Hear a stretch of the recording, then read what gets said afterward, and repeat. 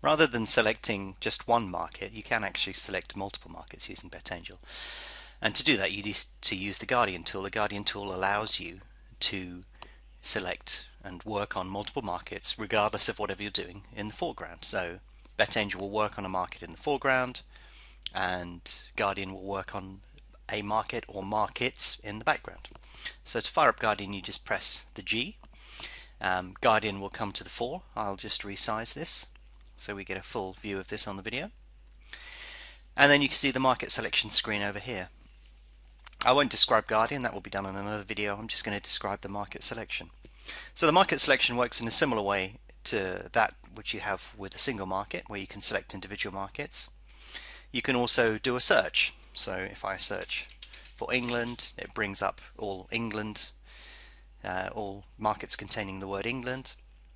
Or I could bring up England and soccer, and it will bring up everything with England and soccer. Or I could bring up Nadal and tennis, and then you can see it will bring up the appropriate markets from there. The quick picks um, in Guardian work different from the main screen um, because what we're doing here is nominating markets.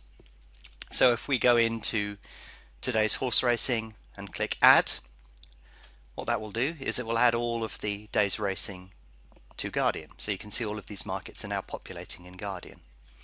And the screen underneath here shows you the odds, unmatched bets, matched bets, any automation that's going on, um, and a log related to that market. So once you add a market to Guardian, all of these things can work in the background. You can flick back to your main screen um, and all of that will continue and then you can monitor it through Guardian.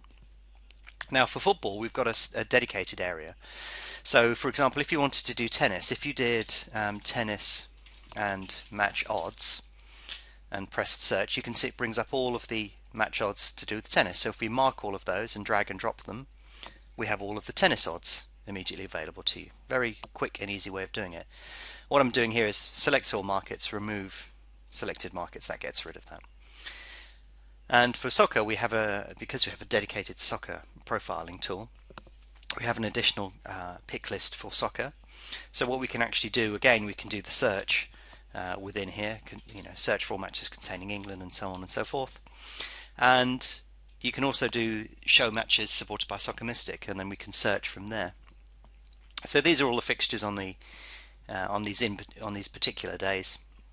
And what you can do additionally here on top of what you can do in the other pick lists is you can right click. So if we right click here you can see it brings up a list of options available. Select all match odds, all correct score, total goals, 1.5, 2.5, 3.5, 4.5 goals and so on. So if I do select all match odds you can see it's selected 43 markets and then I can click on add and that brings those into Guardian.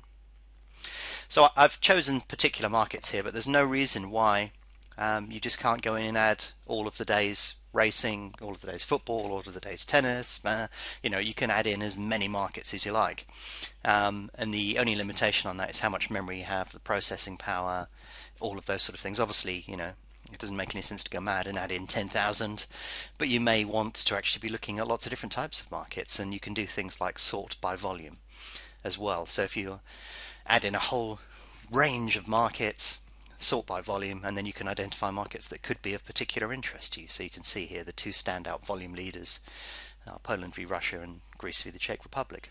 Um, but this is how you can select multiple and, and masses of markets into Guardian. And Guardian's really handy for dumping loads of markets into and then flick, flicking through them, sorting through information, and then automating using Excel or just having them in the background to collect additional information. And um, that's how you select markets on Guardian.